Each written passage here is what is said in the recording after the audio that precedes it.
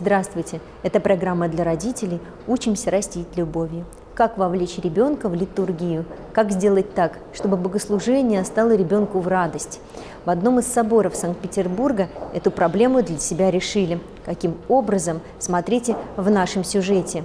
Еще вы узнаете, как прихожане и их дети готовились к наступлению поста.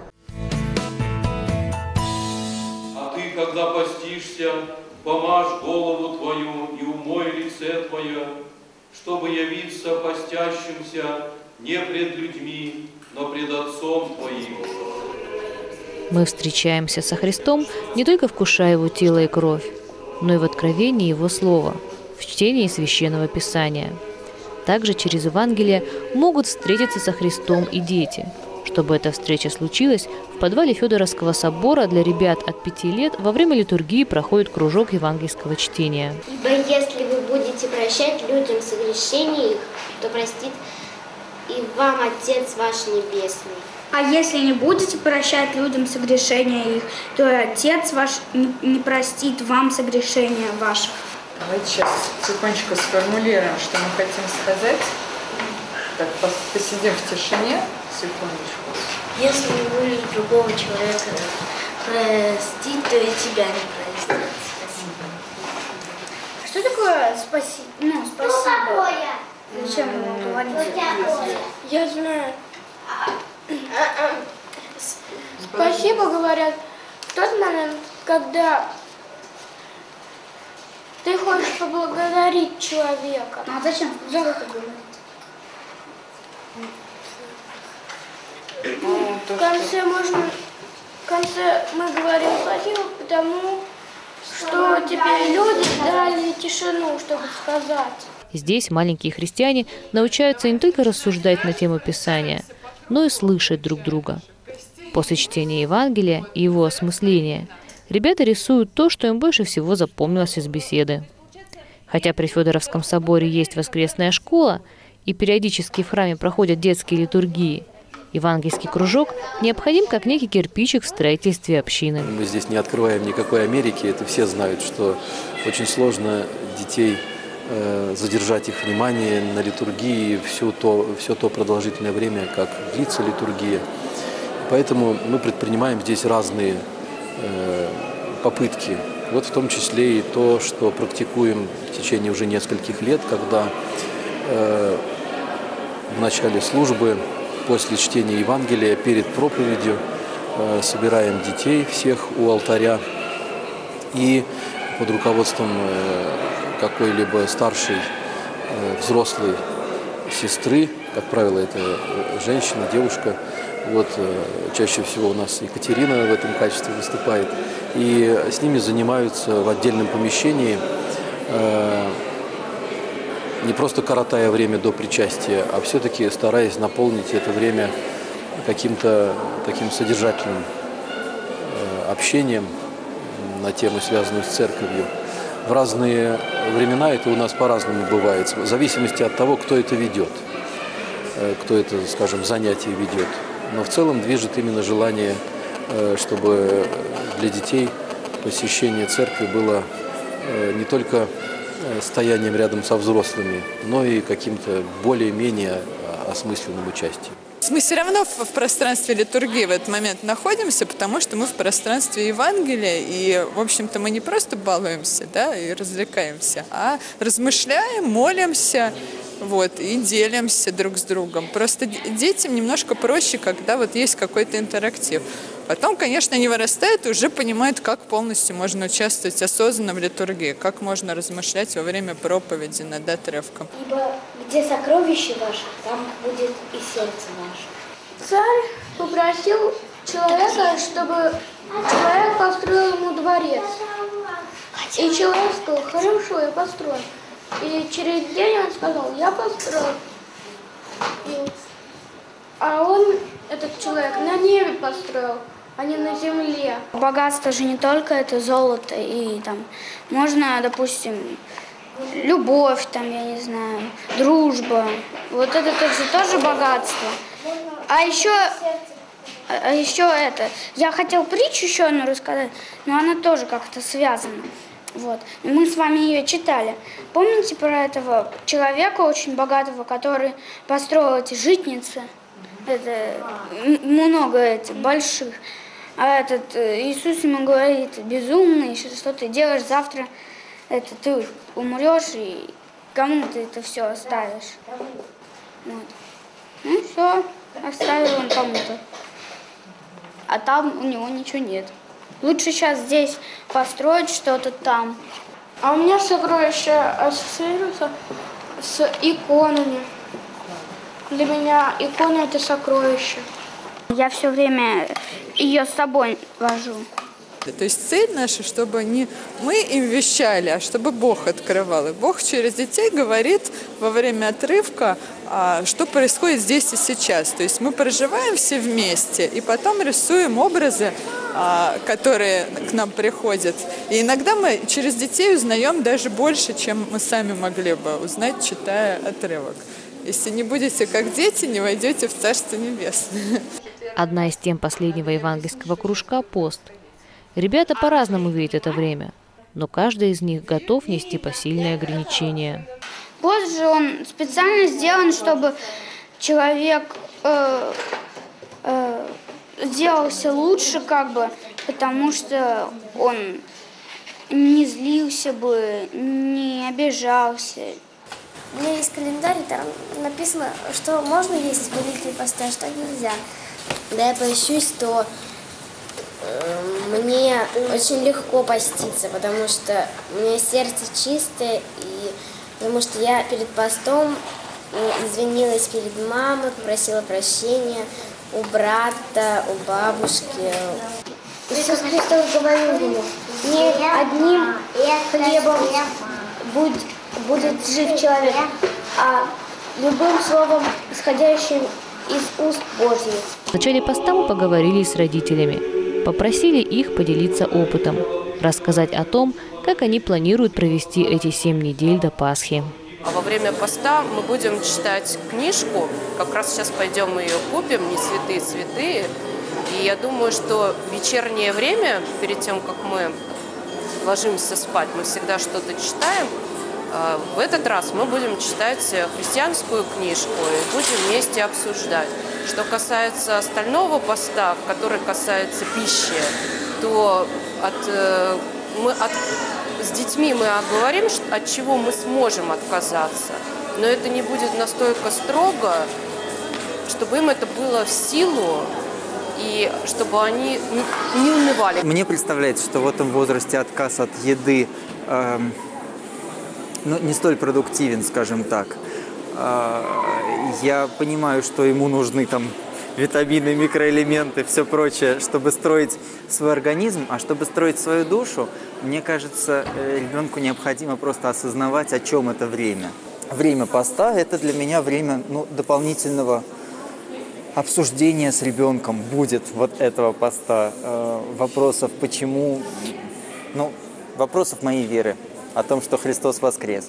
А Что касается ограничений, мне кажется, что необходимо, вот у нас, наверное, с тобой, Денис, состоится разговор по поводу того, что пост – это время посвящения Богу, отдания Богу чего-то, что ты любишь, чего-то, что тебе, э, там, допустим, время, которое тебе чем, чем-то очень интересно заниматься, развлекаться, я не знаю, что мы мультики смотрим или еще что-нибудь такое делаем, это время вот сознательно взять и вот от мультиков мы сегодня откажемся и вместо этого займемся чем-то другим. Э, Но это решение, мне кажется, если ребенок примет для себя, если он осознает его, мы так будем делать. Если ребенок не готов этого принять, если ребенок не готов этого принять, то я считаю, что необходимо дождаться, пока он будет готов вместить это в меру своего возраста.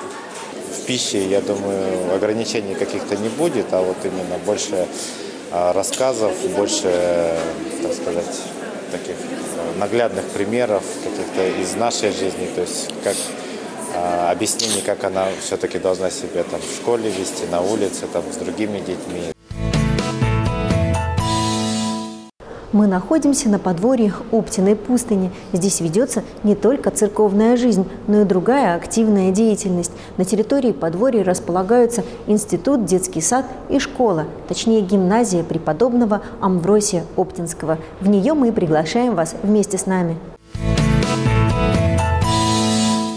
Как во всех подобных школах, первое, что чувствуешь входя, это уют, покой и доброжелательность. Но мы не склонны сразу поддаваться этому впечатлению и спешим поговорить с независимыми людьми. Первое знакомство учителя химии, приглашенный педагог высокой квалификации и с большим опытом работы в разнообразных школах. Ведь каждому ребенку уделяется особое внимание. То есть дети под контролем, и э, дети, и родители, и взаимосвязь, учитель, ученик, э, родители, это в этой школе осуществляется. То здесь аура э, другая, она предполагает э, детей спокойная обстановка такая, доброжелательная обстановка. Я думаю, что это сказывается на психике ребенка.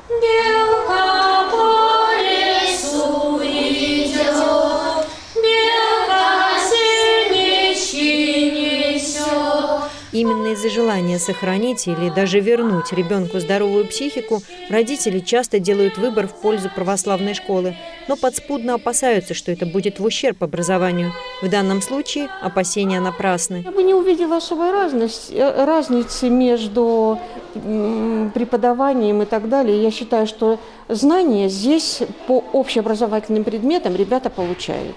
Поддерживать уровень образования на высоте не так сложно. Главное, чтобы руководство школы задавалось такой целью. Тогда и педагоги найдутся. Как выяснилось, здесь работают учителя, приглашенные из элитарной гимназии Аничкова дворца. Такими учителями даже самый взыскательный родитель будет доволен. Значит, ошибаются те, кто считает, что православная школа всегда уступает общеобразовательной по главным дисциплинам. В некоторых школах, например, мы тоже изучали этот вопрос. Есть, допустим, сильная начальная школа, они учатся, а в пятый класс пришли, уровень падает. И дети э, пускают, идут на самотек, они перестают учиться, и родители разводят руками, не понимают в чем дело. Был мальчик хорошо учился, а сейчас перестал учиться именно потому, что, например, в средней школе уровень образования падает. Мы как раз хотим, чтобы вот эту мощь, наоборот, наращивать. Мы их научим сейчас очень много, мы научим их учиться, учить, дадим им большую базу для того, чтобы хорошую, для того, чтобы потом на уровне этой базы они могли осваивать более высокие уже дисциплины. Ну, стараемся, во всяком случае, так сделать. Учителя православной школы не склонны противопоставлять себя коллегам из светских учреждений. Они просто делают делают свое дело и даже как будто не замечают, как разительно они отличаются от большинства учителей светских школ. Я думаю, мало чем отличается. Если школа сама по себе преследует цель э, созидать, цель семейную, чтобы семья развивалась, чтобы детишки были добрые, развитые физически, нравственно подкованные. Если так физкультура проходит в других школах, видимо, мы похожи. Конечно, в этом ответе каждый родитель почувствует огромную разницу. Учитель физкультуры все делает немного не так, как это принято в других школах. На уроках дети играют в традиционные активные русские игры, но что еще удивительнее, они поют. Вот такая дыхательная гимнастика. Запомнили? Последний раз. Дранка, дранка, спой голосянку, кто не дотянет за волосы. Дранка.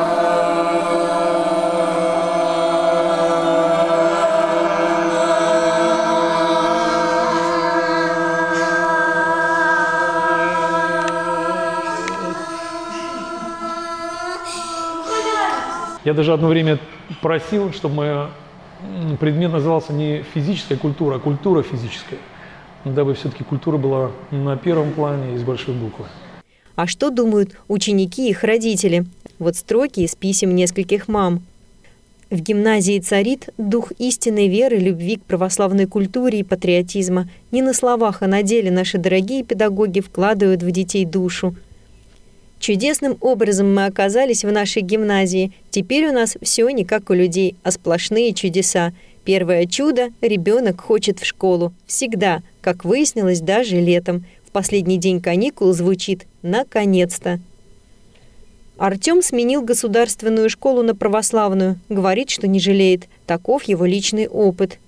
Ну, там какие-то все более жестокие какие-то, я не знаю. Даже сами учителя, они не всегда идут навстречу. То есть а здесь они как бы верующие, но то есть получается, я думаю, более добрые.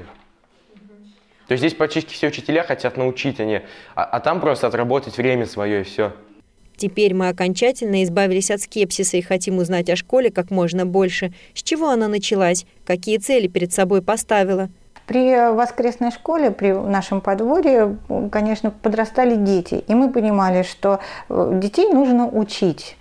И э, как-то вот э, само собой вдруг возникло такое мнение, что, может быть, сделать еще и православную гимназию, потому что сложился хороший коллектив при воскресной школе детей, которых мы хотели, чтобы они вместе шли и дальше. Но нашей целью было не противопоставление государственному учреждению, а мы хотели тоже дать нашим детям хорошее образование, но плюс еще, чтобы это была такая хорошая духовно-нравственная основа, чтобы мы знаем, что многие проблемы в обществе строятся даже не из-за недостатка каких-то знаний, да, которые человек не смог приобрести, например, а именно из-за духовно-нравственных каких-то изъянов, э, которые как раз мы сейчас имеем в обществе, что наше поколение, оно отчасти растет больным, потому что очень много им кажется чуждым, а то, что нам кажется неестественным, для них кажется нормальным.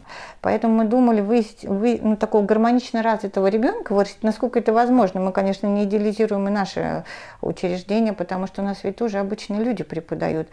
Но как-то вот общая задача, какие-то общие ценности, которые несут педагоги. У нас есть дети и неверующих родителей, которые здесь учатся, и родители довольны, потому что мы не делаем а, какой-то закрытый аскетический мир – где дети э, с утра до ночи молятся, постятся, говорят о Боге. У нас это все присутствует, ну, как часть живого бытия человека, как его нераздельная часть. То есть э, ребенок знает, что есть мир, он открыт этому миру, но он знает, что есть вера Божия, которая не мешает ему в этом жить. Человек стремится к новому, если привычное не удовлетворяет его потребностям. По этому принципу создавалась и гимназия преподобного Амвросия Оптинского. Организаторы гимназии тщательно подошли к вопросу по исправлению тех недостатков в образовании, которые они наблюдали вокруг. Перед тем, как мы создавали нашу гимназию, мы стали изучать, ну вот какие есть недостатки. Выяснилось, что очень мало учат дети стихов сейчас. Ну, просто не до этого сокращаются часы, программа ужата настолько, что надо выбирать главное. А наши дети учат очень много классических произведений, причем не только стихов, но и прозу, а, для того, чтобы ребенок развивался. И ведь на этом тоже вкус ребенка формируется, что очень тоже важно. Я понимаю, что время, оно диктует свои права, и сейчас все быстро-быстро-быстро делается, и требования, которые предъявляются сейчас к ребенку, они настолько велики, что а, компромисс такой, что где-то сокращают появляются а, часы, может быть, как нам показалось, тоже для необходимого. Например, сейчас очень быстро переходят с ручки, ну, с карандаша на ручку и, например, со слова на предложение, что ребенок, в принципе, ну, как показывает практика, э, потом это выливается в общую безграмотность, например. Или вот плохой почерк – это ведь тоже следствие внутренней плохой организации ребенка не выписывая отдельно букву, он не умеет довести дело до конца. Он потом, конечно, э, набивает шишки, он это приобретает все потом к 11 классу, если он учит, если родители прикладывают усилия. Но это все уже путем проб и ошибок. Мы хотели постараться ребенку в начальной школе дать то, чтобы на это он не отвлекался уже потом в средней школе. И потом перо, карандаш – это мелкая мотория, это развитие левого и правого полушария, которые вообще необходимы для развития гармоничной личности ребенка. Мы сначала пытались просто писать карандашом. Потом узнали, что вот в Стрельна школа, где пишут в прописях, наши учителя поехали туда, э, обменялись опытом и нашли тетрадки 43 -го года, когда была косая линейка. Мы их восстановили, эту косую линейку, издали сами эти тетради, их можно потом учителей будет посмотреть. И наши дети сначала пишут там карандашом, потом пером. И вы знаете, вот у нас есть некоторые сложные детки, они, правда, сложные, они пришли из других школ к нам, им очень трудно, они вообще не могли писать. То есть почерк был жуткий. Ну, там им ставили хорошие оценки, просто мамы спохватились и поняли, что знаний нет, оценки хорошие, привели к нам. Им очень трудно было писать пером. Это такой был, знаете, кровавый пот.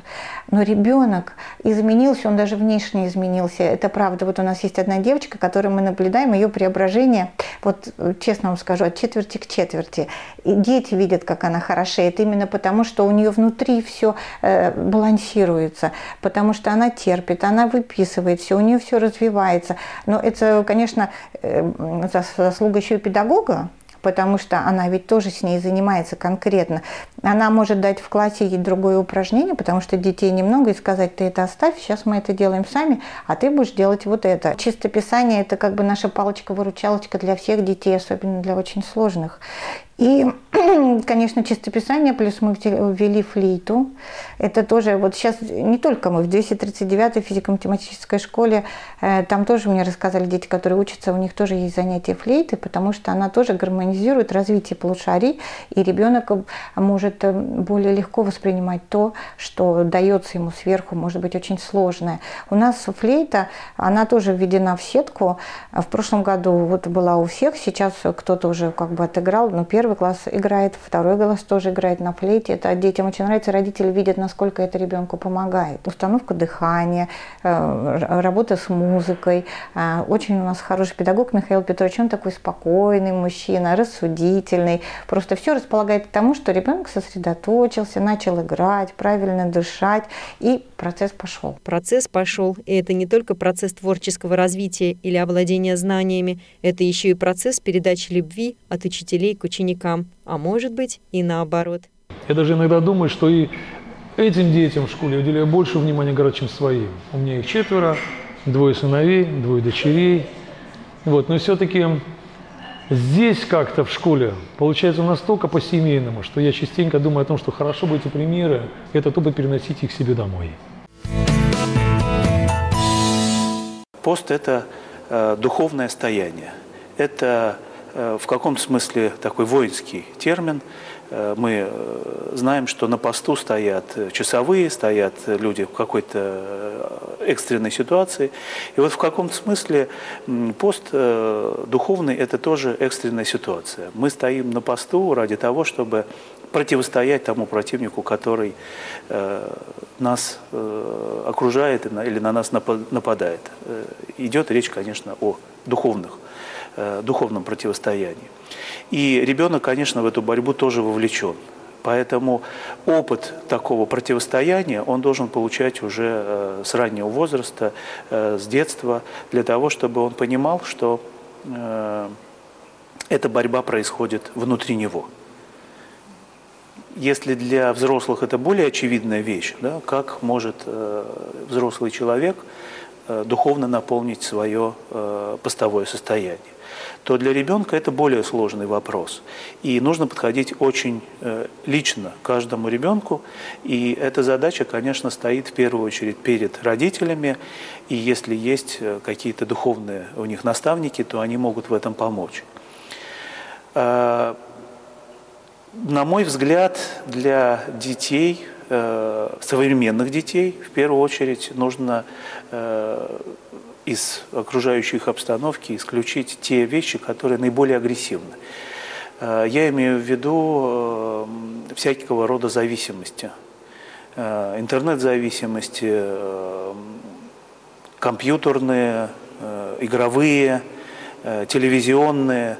То есть то пространство, которое наиболее агрессивно влияет сейчас на ребенка. Это, что называется, из таких внешних вещей. Пищевая составляющая здесь, э, как правило, является вторичной. Она имеет значение, конечно, но здесь нужно, опять же, подходить очень индивидуально, исходя э, из того, что ребенок растет. Ребенку нужны э, соответствующие вещества да, для того, чтобы его организм рос, и чтобы мы здесь не навредили в этом вопросе.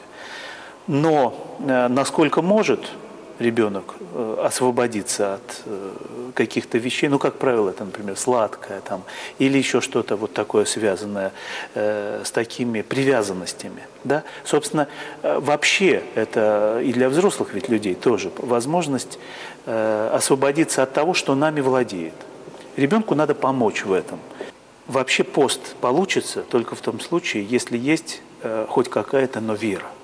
Вера в Бога, вера в Его действия спасительное в этом мире, э, вера в то, что церковь является э, его спасительным таким инструментом в каком смысле, или даже скорее, более правильно было бы сказать, спасительным э, организмом, сообществом, или, как говорит Писание, телом Христовым. Да? В мистическом плане церковь есть тело Христово.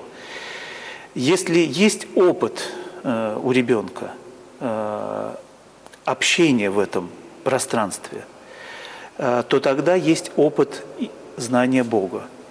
И тогда можно к этому обращаться.